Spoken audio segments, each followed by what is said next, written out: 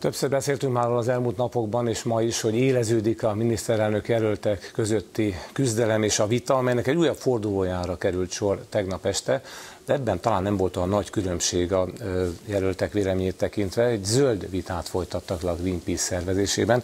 Erről beszélgetünk most Perger Andrással, klíma és energia kampány felelőssel a Greenpeace részéről. Jó reggelt kívánok! Jó reggelt kívánok! Hogyan értékeli a tegnap esti egyébként 50 ezer ember által követett, tehát ahhoz képest, hogy online nem egy nagy televízióban volt egészen szép számú érdeklődő előtt zajlott beszélgetést. És nagyon hálásak is vagyunk, hogy a HVG lehetőséget biztosított a partnerként erre a beszélgetésnek kellett neveznünk, de hát azért valójában volt vita is. Nagyon örülünk, hogy ennek létrejöhetett. Ez egy történelmi pillanat, hiszen miniszterelnök jelöltek Magyarországon még sosem vitáztak zöld kérdésekről ilyen hosszan, és úgy csak zöld kérdésekről.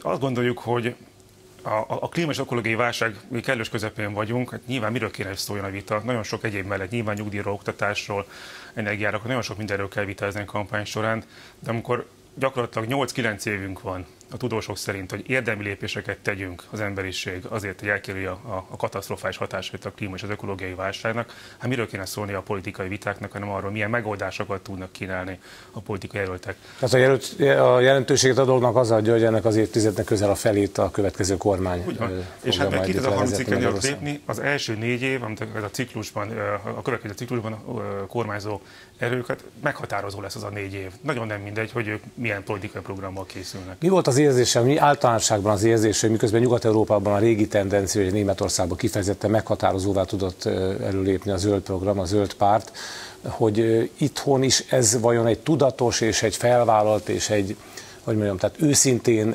érzett felelősségtudat a pártok részéről, vagy a miniszterelnök jelöltek részéről is, vagy csak egy trendi dolog, illetve hát a választásokban vélnek, vagy sejtenek emiatt több pozitív vagy szimpátia szavazatot begyűjteni? Egyfelől nyilván politikai kampány zajlik, másról pedig azért azt lássuk be, hogy a, ez volt az egyetlen szakpolitikai kérdés, amire külön leültek a jelöltek vitázni. Azt gondolom, ennek minden, mindenképpen megadja a súlyát.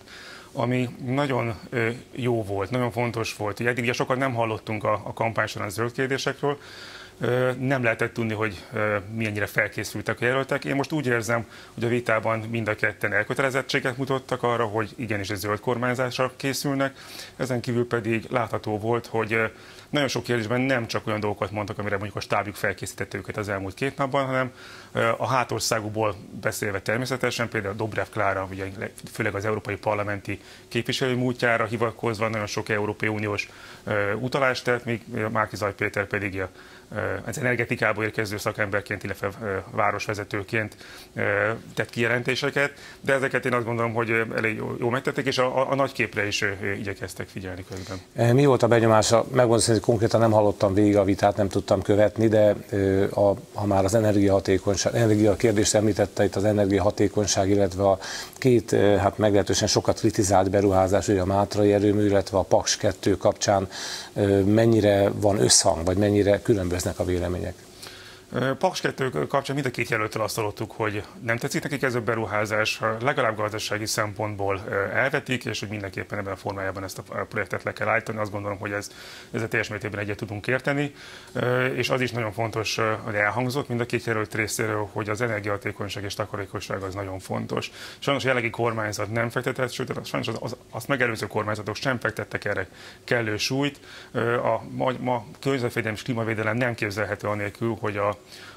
a, a borzasztó állapotban levő magyar ö, ö, lakosság ingatlanállományt elkezdjék, azzal csinálni kell valamit. 37%-kal fogyasztunk több energiát fűtésre, mint az Európai Unió átlaga.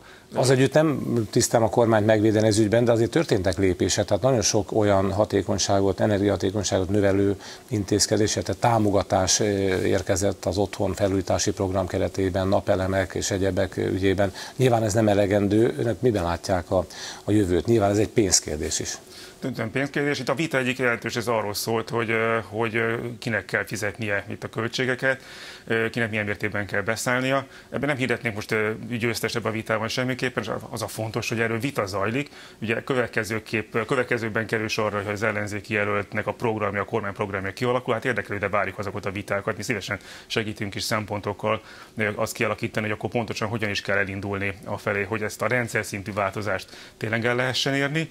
És hát azt is nagyon várjuk, várjuk, hogy a teljes politikai kampányban, vagy jelenleg ugye ebből a vitából a kormányzó oldal kimaradt, azt gondoljuk, hogy a, a következő hónapokban... Lehet a folytatásban a miniszterelnök jelölt, hát majd mi? a meglevő miniszterelnök jelölt, vagy a kialakuló miniszterelnök jelölt és a jelenlegi miniszterelnökkel? Mi mindenképpen a HVG-vel együtt mindenképpen szeretnénk, hogy lefolyjon egy olyan vita, ami, ami a, amennyiben a Fidesz megjelöli a kormány, illetve a miniszterelnök jelöltjét, és a, az ellenzéki jelölt között kerüljön sor vitákra, és a zöld kérdésben is mindenképpen szeretnénk, hogy lenne ilyen vita. Még egy fontos a zöld kérdéshez kapcsolódó, nem az energiával, hanem a szennyezéssel, a környezet szennyezéssel kapcsolatos téma, ugye, hogy tervezik, vagy legalábbis önök javasolják a betéti rendszer vissza vezetését. Ugye régen volt ez, hogy vittük a teljes üveget, le, sörös üveget, stb. visszaváltották, most pedig mindenféle műanyag és eldobható dobozokban árulják ezeket a termékeket. Látja ennek realitását, hogy ez időn belül hát nagyobb anyagi áldozat nélkül létrejöhet? Tehát hitettek a jelöltek amellett, hogy a hulladékgazdálkodást igyekeznek tenni valamit, a betéti is szóba került. A legfontosabb egyébként nem az, hogy megelőzzük a hulladék keletkezését, tehát függetlenül természetesen nagyon fontos, hogy azok a csomagolóanyagok, amiket elhasználunk, azokat ne eldobáljuk, hanem valamilyen módon újra hasznosításra kerülnek, lehetőleg úgy, hogy újra töltik őket, tehát hogy a funkciójukban hasznosítjuk őket újra, és nem csak anyagukban. Ezenként nagyon sok minden kérdésről lehetett volna még beszélni, a természetvédelemről, az erdőkről, a nagy tavak védelméről, a folyóvizeink védelméről. Erről most sajnos nem esett szó, hiszen elég volt, szűkösre volt szabva az időnk, viszont nagyon bízunk benne, hogy a következőben ezekről is szó lesz. A közlekedést ugye az egyik legnagyobb környezetszennyezőként tartják számon. Egyes adatok szerint 13 ezer magyar idő előtti halálát okoz a légszennyezés például.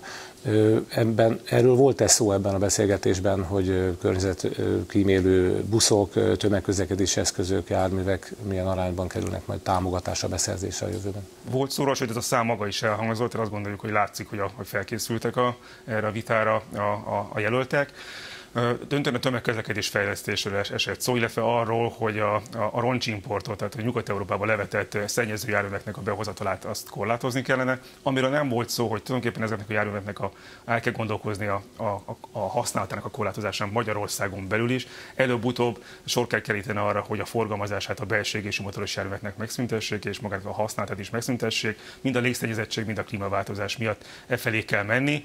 Hogy erre mikor kerül sor, nem, vár, nem várható, hogy a következő következő ciklusban sor fog kerülni erre, de fel kell készíteni a gazdaságot és a társadalmat ezekre a változásokra. Bízunk benne, hogy így lesz. Perga András, köszönöm szépen, hogy itt volt és elmondta mindezt.